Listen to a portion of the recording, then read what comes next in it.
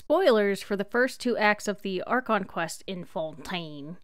So we got lots of lore for Fontaine. A secret society bent on dissolving everyone, Paimon's a rainbow balloon, people eat Abyss Dragon Jam, Ray-Bans are canon, you name it. But we've been left as usual with more questions than answers. Like, Childe was probably a child in Snezhnaya when the serial disappearances started happening, so why did the Oratrice find him guilty?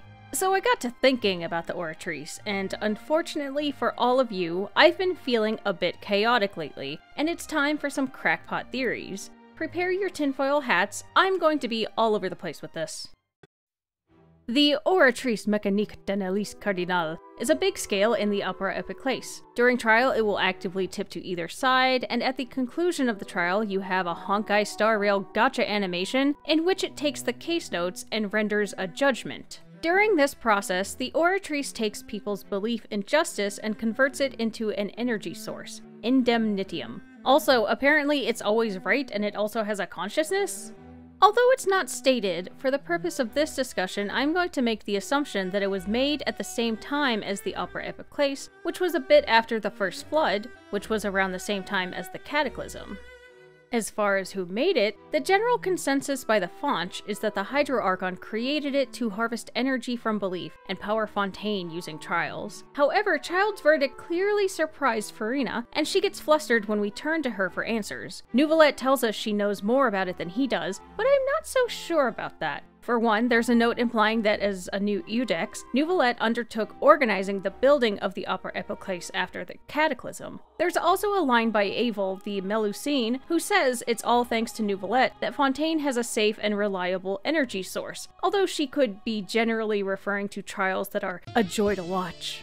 Now, to back up a little bit, Fontaine has two main energy sources. One is Indemnitium, created by the Oratrice. The other is the Arche system. When you use Arche to create an annihilation reaction, Pneuma and Ousia blocks disappear, and when contained in a controlled environment, create a cyan energy that can be harnessed. This was developed by Alain Guillotin 400 years ago. So Arche and Indemnitium may have been created around the same time.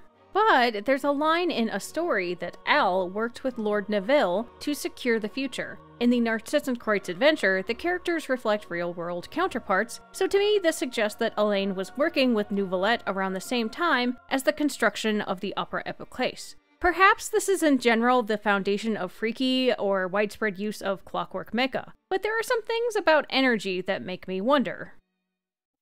The Arche system is a result of Alain's and Rene's research into Sumeru desert technology. Elaine called the primal constructs prime energy machines, and in the tutorials, all these mechanisms are primal lights or primal embers, and so on. Now, everywhere you go in the desert, you see remnants of Deshret civilization, all characterized by a cyan glow in the architecture, devices, and machines. So, perhaps this cyan glow is primal energy. This primal energy seems to be unaligned pure energy, and it can take on elemental alignments. Primal embers turn into embers of fire, for example. There's a lot more to this, but fortunately a channel called My Name for Now recently made a video on the topic. But back to annihilation reactions. As I said earlier, Pneuma Ousia reactions in a controlled environment can produce an energy that emits a cyan glow. Yes, we're color matching, folks. It's cyan. Just like what we see all over the Sumeru Desert. And Deshret's technology is what Alain was studying. So it seems Pneuma and Ousia can react and create balanced primal energy if contained. But annihilation reactions are not unique to Fontaine.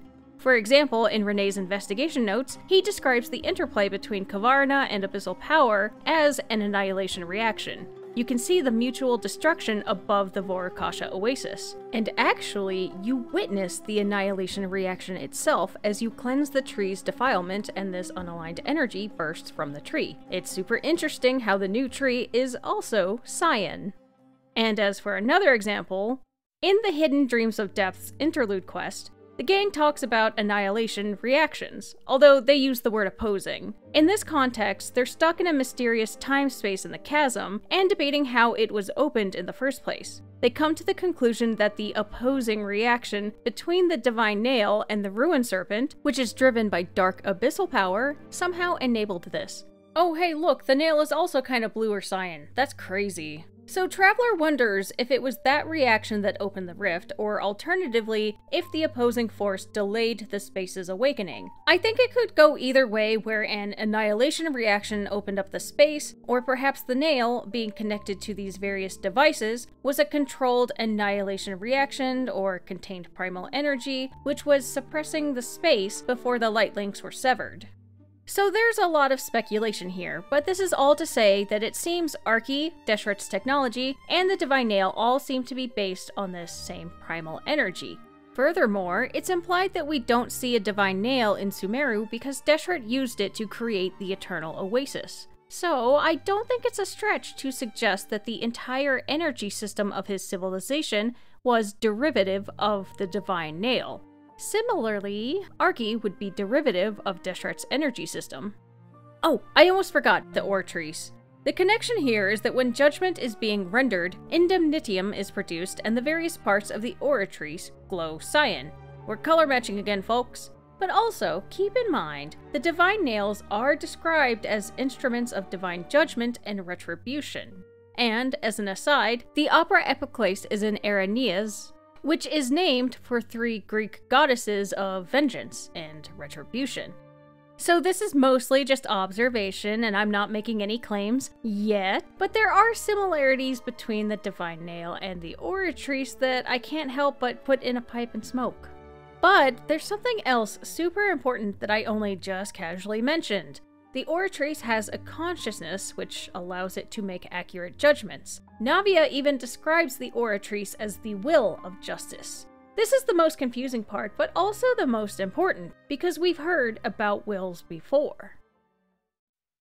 In his investigation notes, Rene studies Khvarena and Abyssal Power. He says that Khvarena and Abyssal Power are equal but opposite, and a level above Elemental Power.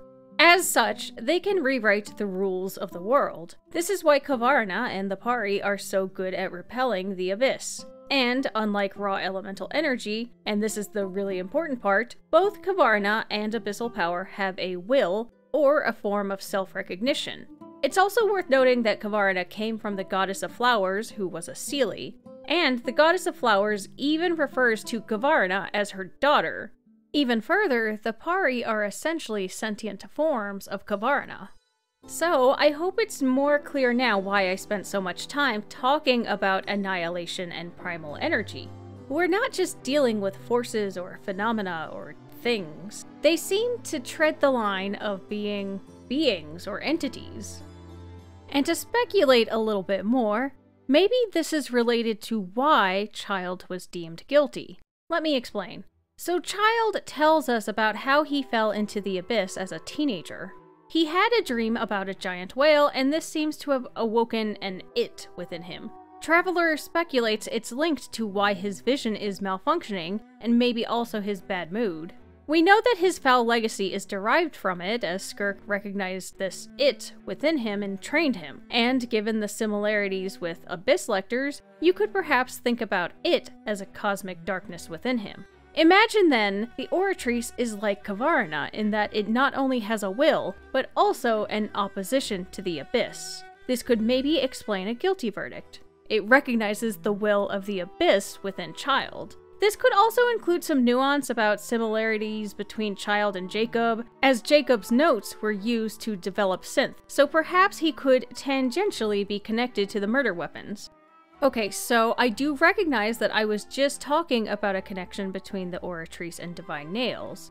But that's funny though, because Rene says that Khvarena is very similar to a crystal that he encountered, given the fact that Divine Nails, like Khvarena, are super good at repelling the Abyss, and the entire discussion I had about annihilation reactions, I think he was referring to a Divine Nail. So the Oratrice shares similarities with both Khvarena and Divine Nails, and Divine Nails and Khvarena share similarities with each other. So, to recap, the Oratrice has self-recognition. It may be using a reaction to turn people's belief into indemnitium, which to me seems to be a form of primal energy. So again, I wonder if Alain played a role in constructing this device, simply because Imagine this is an upscaled version of an Arche reaction. One that has a will and may be able to rewrite the rules. because you do have to remember that the people of Fontaine have a Pneuma or Ousia alignment, and perhaps that carries over to their beliefs. Alternatively, maybe Furina just stuffed the Gnosis into some mechanical scale and gave it a kick and it started working. That all said, I do want to go back to the general topic of energy and will. But this is where it gets a little murky because in the discussion of elemental energy and Khvarena and abyssal power, primal energy and annihilation reactions, it's not always clear what forms have a will and which ones don't. This is all to say I want to pose a kind of bonkers question. Do divine nails also have a will like Khvarena does? Like, even though they're both really good at repelling abyssal energy, to me, the Divine Nails seem to basically be primal energy crystals, which in itself wouldn't be indicative of a will. Well, you can probably guess that I'm really going to go off the rails here. High octane crack theory warning. Your tinfoil hats won't protect you. Prepare your thermal aluminized suits. There's an in game book called Legend of the Shattered Halberd written by a guy named Mr. Nine. The story is about a man who goes on a journey with a woman possessed by the spirit of the God King slash Celestial Emperor's daughter. She's also the Princess of Condemnation. They need to collect the fragments of the Divine Halberd, which have been crafted into ominous swords, to prevent the destruction of the world. I have a video with a summary, so go watch that if you want the full story. Basically, the shattered halberd fragments were mistaken for meteorites and, like I said, used to forge weapons so it's a material. However, at the same time, the divine halberds from which the fragments originate are deities or beings with names. In the last chapter, the princess or the possessed woman we spend the entire story with is revealed to be the last divine halberd. So the book has this very confusing question about what exactly a divine halberd is. Is it a thing or a being? One interpretation is that the divine halberds represent spirits, and looking for the fragments is entirely metaphorical for looking for fragments of themselves. For example, in Dirge of Bilqis, we look for Lilupar's fragments so she can regain her memory. And when I say spirits, I specifically mean something Seelie or Divine Envoy flavored. Lilupar has a true name that she tells to Traveler, giving them immense power over her. And Lilupar originated from the goddess of flowers, who was a Seelie. Similarly, the princess of the story never reveals her true name, because revealing a true name gives someone control over them. But I had originally speculated that the divine halberds represented or were inspired by divine nails. This is largely due to how they're described. For example, being created by the God King, objects thrown from the heavens and mistaken for meteorites, and having a cleansing but also mind altering property. So that's a second interpretation.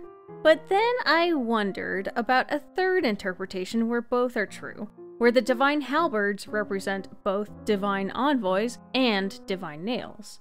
This could imply then that the nails derive their power from the same source as Seelie's. Think about it this way. The nail in the chasm is called the Spirit Stone, perhaps a stone with a literal spirit. And we also learned about the weaponry of the Eremites being infused with literal spirits, and Djinn being infused into machines. Now, I know this is a lot, given that I've just thrown a book at you and also wrapped Seelies into the discussion. But consider this. Seelies are also cyan colored, just like other forms of primal energy, and can take on an elemental alignment.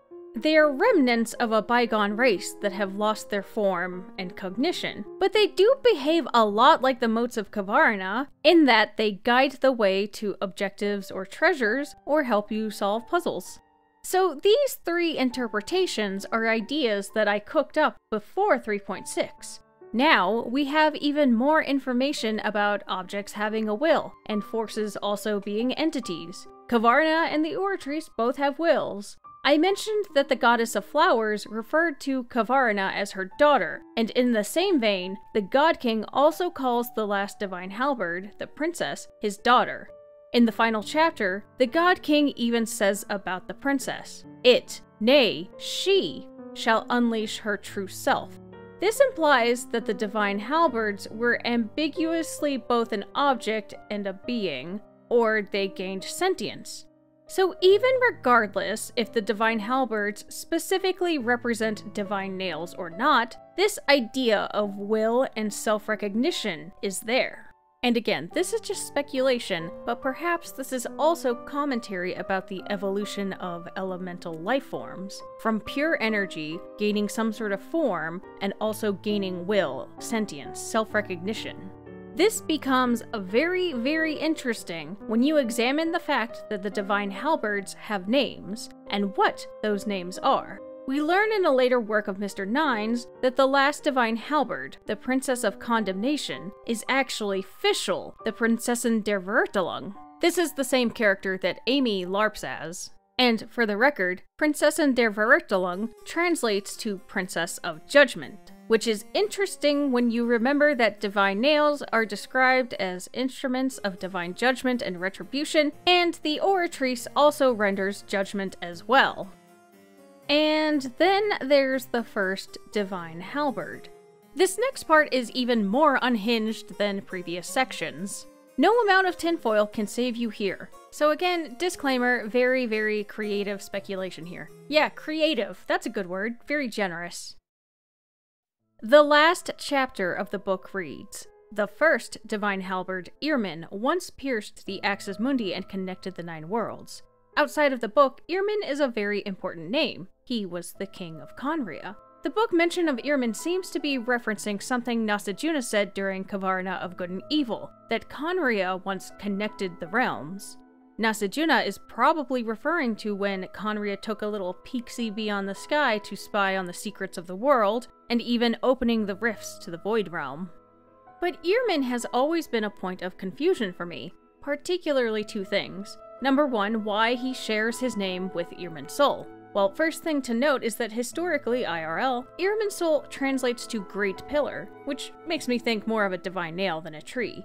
But historical records show a connection to trees, and perhaps the pillar was simply an old tree trunk. But it's also interesting that when we go inside Irminsul with Scaramouche, its true form is more geometric, with a familiar cyan blue glow.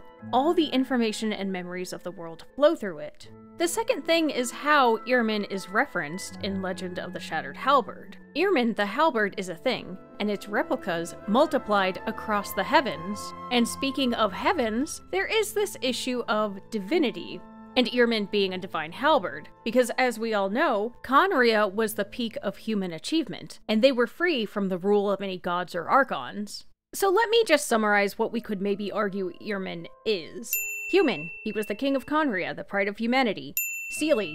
Irmin is a divine halberd, which may also represent divine envoys. I made a video on this. Dragon. I also made a video on this. Khaenri'ahns may be evolved vishap people on the merit of Nibelung being the Dragon King, as Nibelung is also a race of dwarves in Wagner's Der Ring des Nibelungen, which includes the Alberich's. Also, they can only be distinguished from normal human beings by their unique eyes. Something related to a big data tree? All this discussion has gone back to inanimate things and energy having a will. Let me just be blunt with my insanity and suggest taking this a step further. Maybe he's the personification of the will of Irminsul. I mean, surely it's no coincidence that Khaenri'ah is below Sumeru, and both Rukkhadevata and Nahida are avatars of Irminsul. And we then also have a kind of similar situation with the Goddess of Flowers and Khvarena and the Pari. Maybe, I don't know, this is crack. Individually, all these ideas have merit, but I can't exactly reconcile any of them. But there's a commonality between three of them, and it's the color cyan. You heard it here first, folks. Move over, Scarlet King. King Irmin, the King of Khaenri'ah, is the Cyan King.